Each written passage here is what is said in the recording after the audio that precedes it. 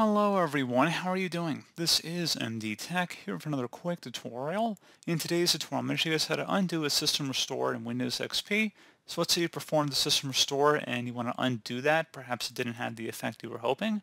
In today's tutorial, I'm going to show you guys how to do that. And without further ado, let's go ahead and jump right into it. So all you have to do is select the Start menu, select All Programs, select Accessories, select System Tools, and then go to the bottom where it says System Restore. It says to begin, select the task you want to perform. Select Undo My Last Restoration and select Next. And then select Next again.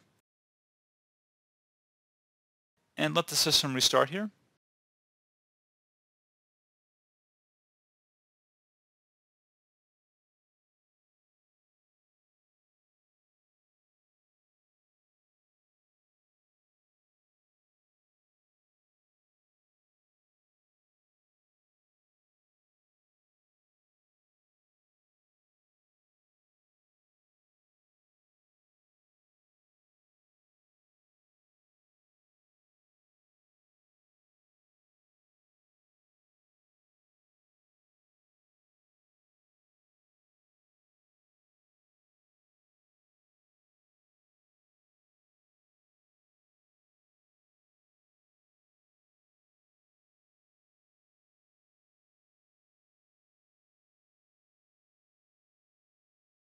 And there you go, guys. Pretty straightforward process. You can see it completed successfully.